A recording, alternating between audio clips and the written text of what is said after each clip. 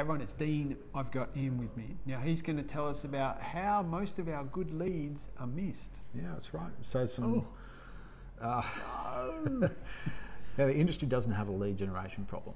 You know, uh, yeah, and, and, We're a and- data information. I know we've got lots Yeah. of data, lots of, loads of it. and lots of new data coming in every single day, every single week. Yeah. You just have to think about if you're a productive agent, you've got stock, you've got people coming, uh, apart from COVIDs, Yeah. lockdowns, Yeah. you've generally got lots of new people you're meeting. Coming through. Yep.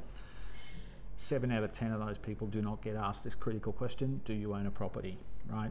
So that's Just repeat that again. Seven out of 10 Mm-hmm. people are not asked if they own a property. yeah, it's crazy. And it's it's not. You might be sitting there thinking, well, I don't do that, or I ask it ten out of ten times, and I think Yeah. you know, as an industry, sometimes there's a little bit of ego. You know, we're not good with feedback. Um, What? Feedback.